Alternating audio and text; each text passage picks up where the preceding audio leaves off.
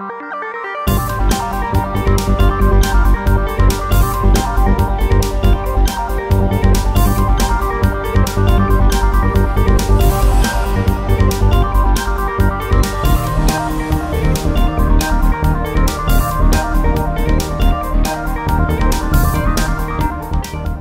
the technical director for the state of Maryland over in the United States, and every year we have an Olympic development program which runs from U12 up to U17, where we try to select the best players from within the state of Maryland. And part of that program is we bring them over here to Scotland, England, and then to Spain to play against international competition, just so that they can experience a different culture and get to view a different style of play.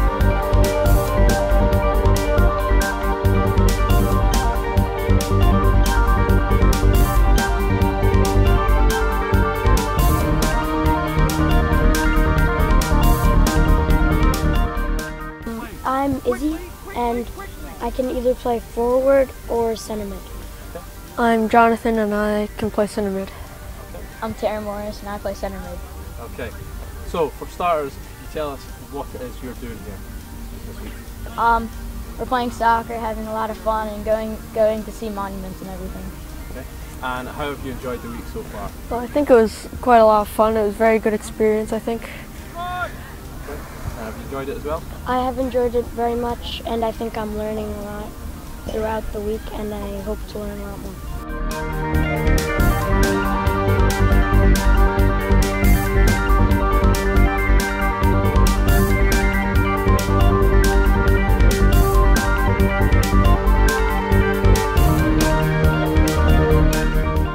Scottish players like move the ball very well, and they're just like very communicative. They're, they have good communication.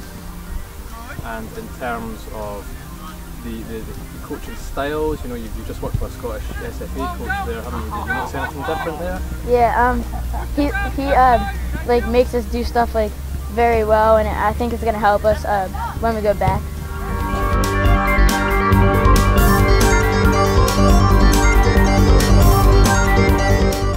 Uh, my name is Anthony. I play right midfield. I'm Luke. I play striker. I'm Ronald and I play center striker. I would say that we could learn different styles of play. So when they, how they communicate. Like if we don't communicate as much as them, they can communicate more than us, so we can kind of learn that from them.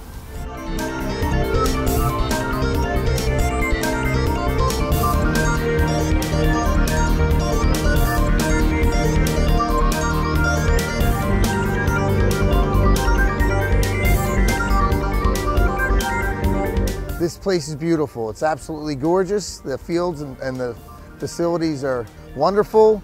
The football is excellent.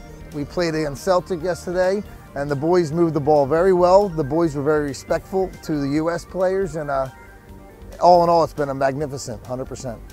It's been great. It was a long plane ride, but it's been worth it so far. It's just a new culture.